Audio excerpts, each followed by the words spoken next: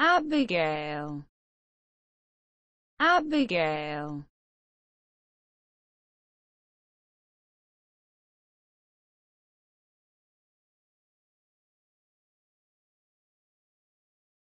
the wife of Nabal and later of David in the Old Testament, used since the 16th century, and currently quite popular.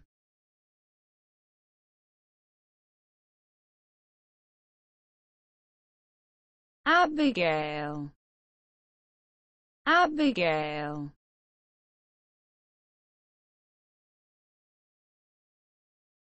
the wife of Nabal and later of David in the Old Testament, used since the 16th century, and currently quite popular.